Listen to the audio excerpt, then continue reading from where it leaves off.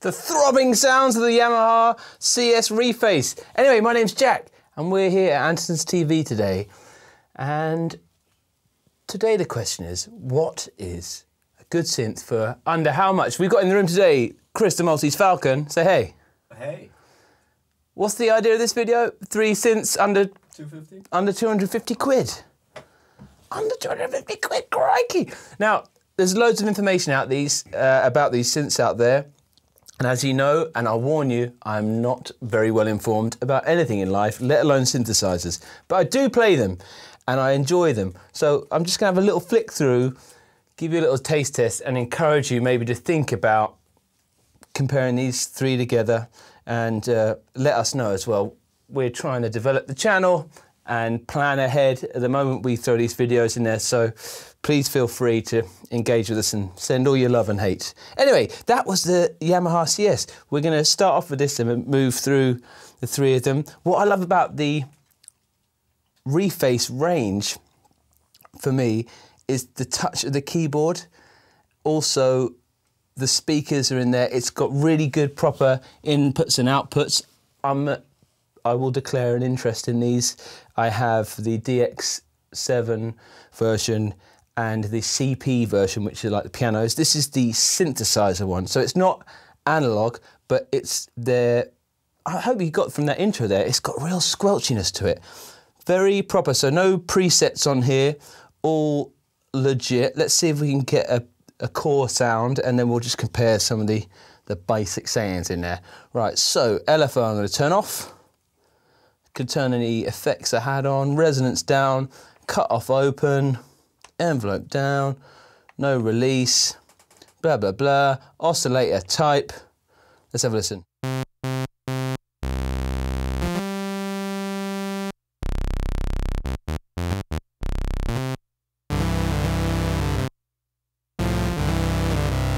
Let's listen to that filter.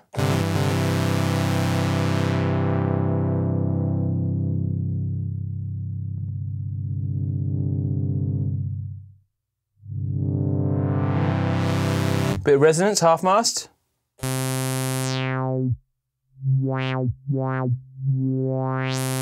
Full res. Woo! Let's never do that again, Jack. Let's have a listen to the pulse width.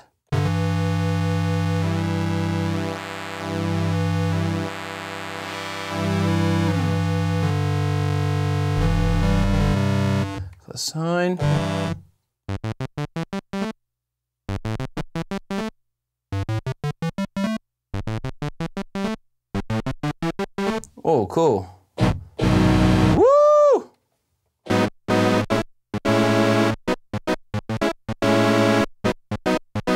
And that's what I'd say is really cool about this one. Just looking down the line of where we're going, I'm playing chords. Yeah, I love chords. I could play the odd three or two chords. Uh, and as we see, we're going to kind of limit maybe how many notes we can play at once, but we'll discuss the differences in a bit. But I like this. It's very small. It comes with a lovely. Um, you can get a really cool carry case for it as well. Uh, let's have a listen to some of the effects just on a simple uh, sound. Um,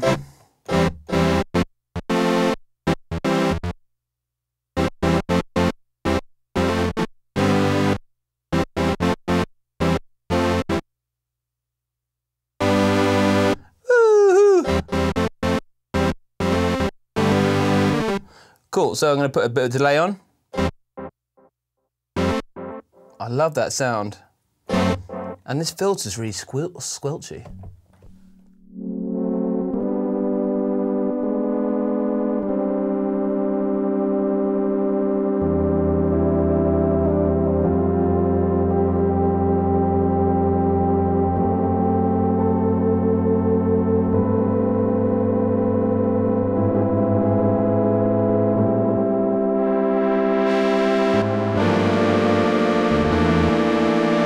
Of.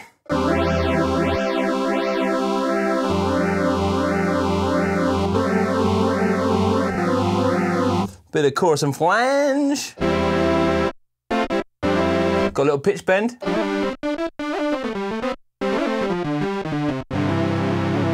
Woo! And what you heard at the beginning, it's got a looper in it as well. So a little bit of a, gives you a click.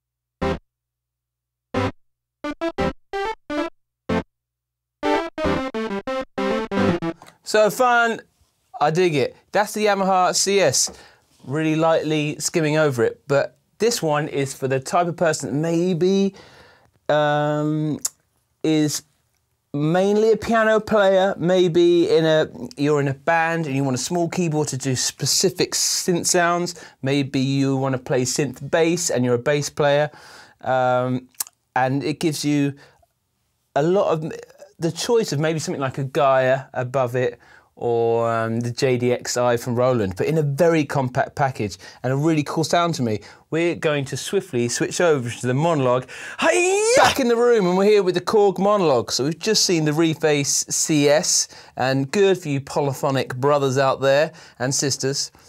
On to the Korg monologue, and let's listen to it. It's in its initial program here, and uh, this is what happens if you hit C. So a big brash saw wave.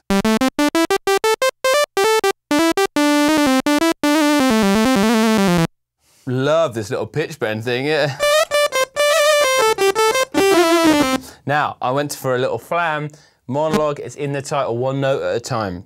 But this is digital. It's making all its sounds with noughts and ones. This is analog. So I don't actually scientifically know what's going there, but there's a voltage controlled oscillator in here and uh, analog filter and whatnot. This is for maybe the guy that isn't coming from piano playing background and is really already knows that he's into synthesis and also a really great learning synth, mainly because of this really cool feature. Out of the three we've got here, this is the only one with a screen. And as you see what happens, we can see a very clear, even though it's small, it's uh, like an OLED screen it looks like. And then when I change the waveform, we'll see it represented on the oscilloscope.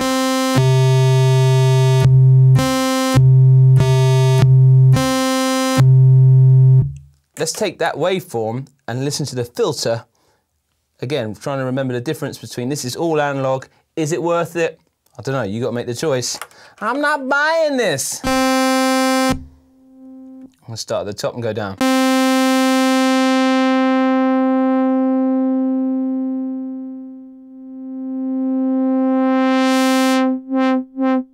And I love that screen. As you can see, it's shaving off the top of the waveform and you're starting to for me, it makes it easier to connect what cut-off means because I can see it visually um, and it's not all up here. Anyway, shut up, chat. Half mass resonance. Even then, I can see what resonance means to the waveform and I think it's very informative.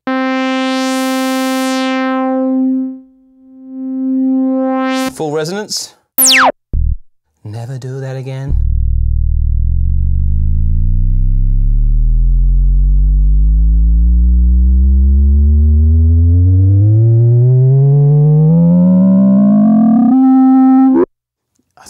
It's got some really a visceral sound to it.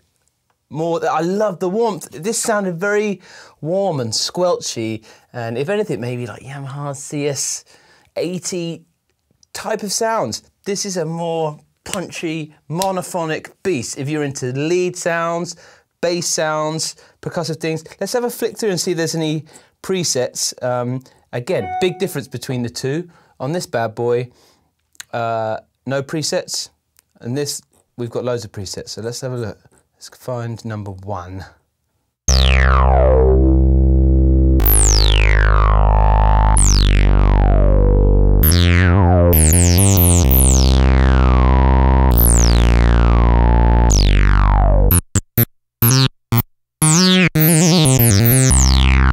Preset.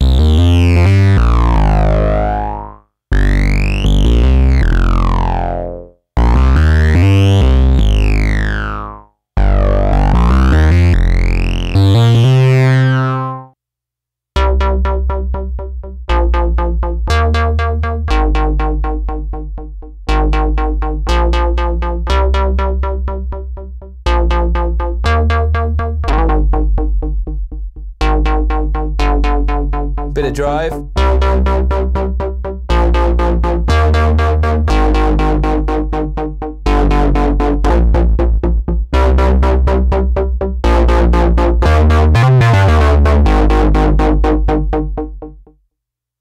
I really like that. Oh, dude, it does have an immediacy to it.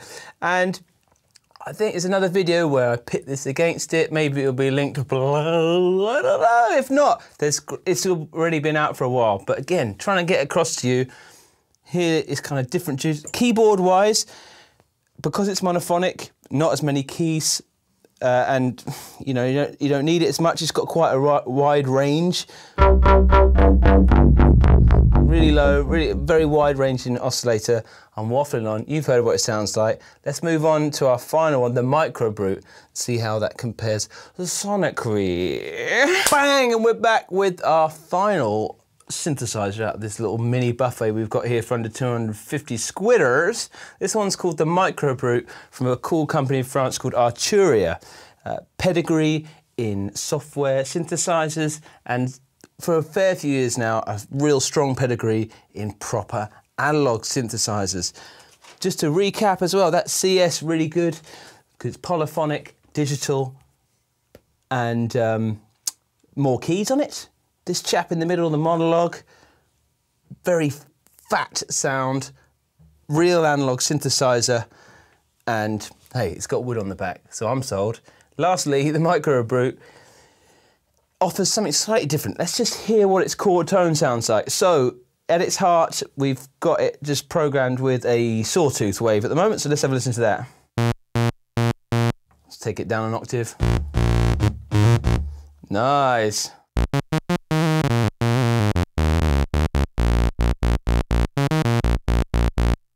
Firstly as well, form factor, smallest of the three, so really good if uh, for throwing in a laptop bag. One thing is the keys are a lot smaller and are fine to widdly woo on, uh, but definitely less refined as to these chaps. And again, monophonic analog, but this has a lot of different flavors in the oscillator section. So you can hear I'm bringing in an ultra saw.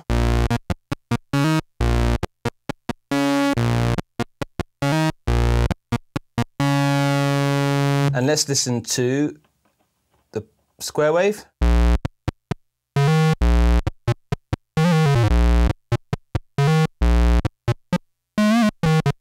I can change that pulse width.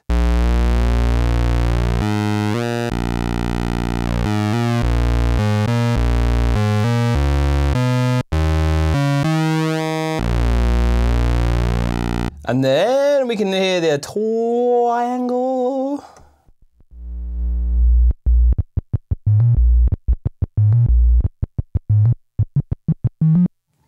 fat. Metalizer. I love that this effect. Basically, so you've got the core waveforms and then above how you can, it's like wave shaping. To me, the metalizer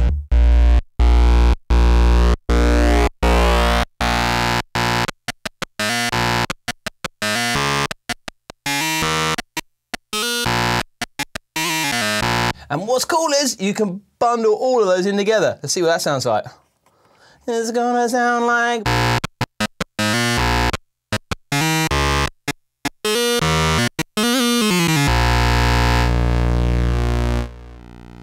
There we are out. And let's go back to this core saw wave and see what happens. We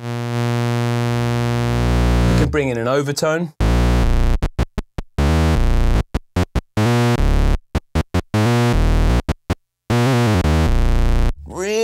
Heavy stuff. Sub or fifth. Very hefty, it even goes lower. Woo! So a lot of core, it, those core oscillators really have a wide variety and a lot of heft to the sound. Let's go for medium overtone saw wave. And here one of the, it's in the title, micro brute, brute factor.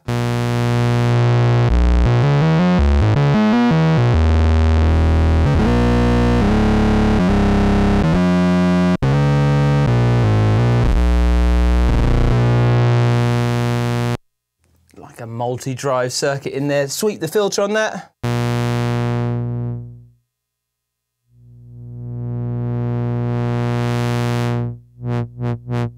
Multi-mode filter as well. Just having a look across, that's different single type of filter there. So this one's got band pass as well. High pass. Let's listen to that resonance. So there's no resonance, half mast. Full resonance.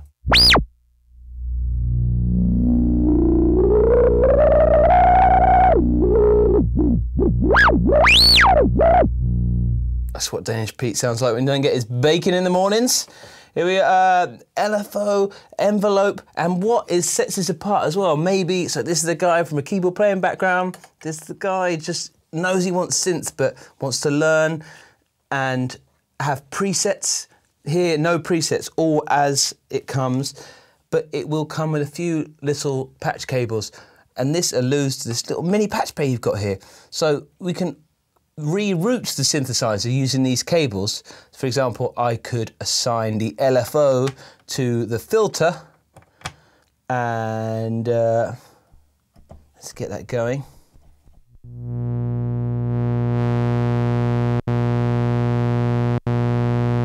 Actually, oh, envelope.